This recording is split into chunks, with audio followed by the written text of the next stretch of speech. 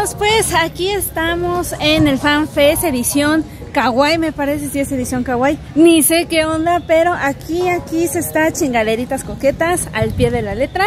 Estoy un poco desaparecida del canal, lo sé, pero espero pronto como organizarme bien. Mientras tanto, espero que disfruten este video y bueno, ahí les voy a poner algunas tomitas de la expo. Espero que me escuche bien porque nuevamente el micrófono sí es una falla, pero espero que me escuche bien. Y pues aquí les muestro algunas tomas de la expo. Espero que les agrade y pues disfruten el video.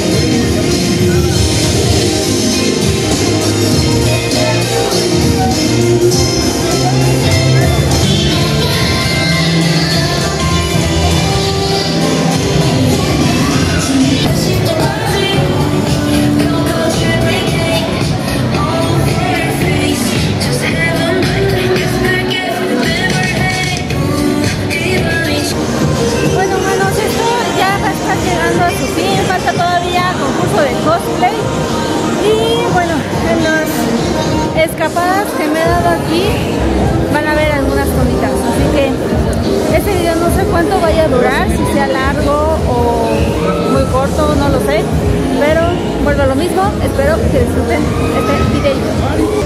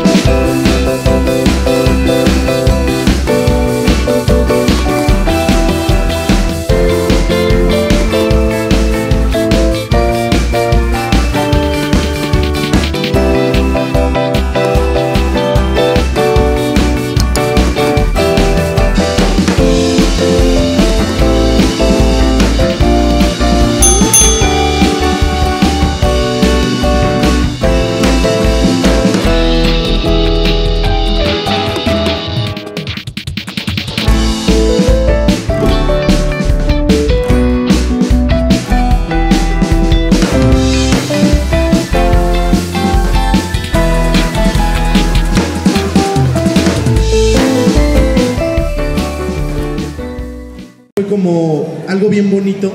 Eh, creo que todos dentro de nosotros tenemos a nuestro Zenitsu interior, que como vemos para mí Zenitsu es un personaje que yo sí creo que todos en algún momento lo hemos tenido, porque díganme ustedes, alguien que me diga qué es lo primero, la primera característica que ustedes ven en Zenitsu.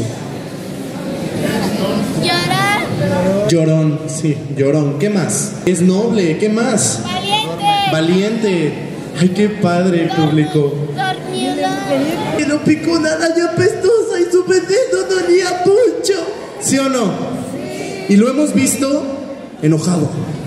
Y está enojado porque ¿cómo él puede tener tres esposas y yo solamente puedo tener una? Y ni siquiera porque no lo pela la pequeña Nezuko, ¿verdad? Anda solo, suelto y soltero. ¿Qué más? Hemos visto a Zenitsu dormido. Hemos visto Zen- bueno, dormido no hace nada, evidentemente, más que vestido de mujer, así. No manchen, es una de mis, de, mis, de mis capítulos favoritos, porque les voy a contar ahí un secreto. En ese capítulo, si se acuerdan que hay una parte donde dice el nombre como de cuatro chicas. Sí que dice, ay, así, ay, ay", y así empieza como con sus de que, ay, yo también puedo tener tres esposas. Ahí metí un clipcito que ustedes tal vez no sepan, pero en ese capítulo yo dije el nombre de mis dos mejores amigas, que cuando se enteraron, uy, murieron.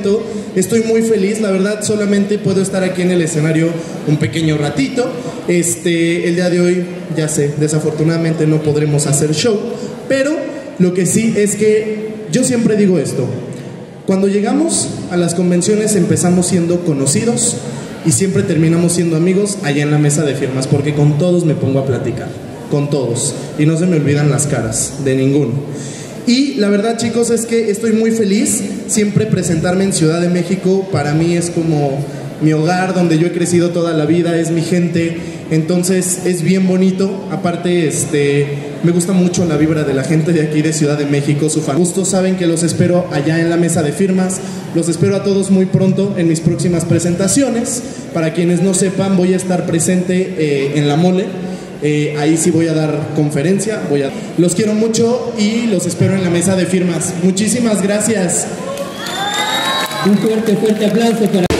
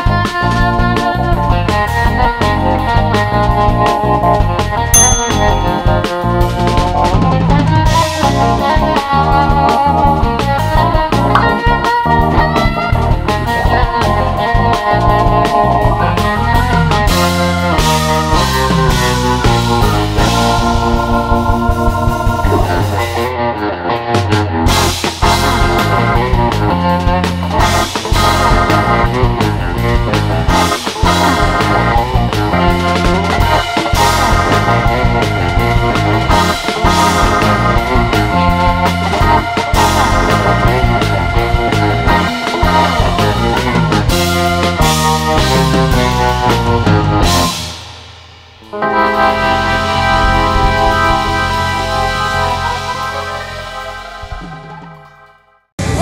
pues eso ha sido todo por hoy. Espero que me haya escuchado bien y si no, pues ahí suele. Adentro ya no les pude grabar porque ahorita está con toda la música ya del último baile o el último show que hay aquí en la expo. Eh, pues les comparto esos pequeños cortitos en sí de video, lo más que se pudo lograr grabar. Recuerden que el link de la tienda de chingaderitas coquetas lo dejo siempre abajo de la descripción para que chequen la tienda, la visiten y si les gusta algún artículo pues vayan y compren. ¿Cómo de que no? No sé si sea muy corto o muy largo, pero es algo que les quiero compartir. Entonces aquí está ahí para que pase este video a la prosperidad. en tiempos de vendimia, sí, ¿por qué no? Eso ha sido todo por este video y recuerden que nosotros nos vemos hasta el próximo video. Adiós. Yeah.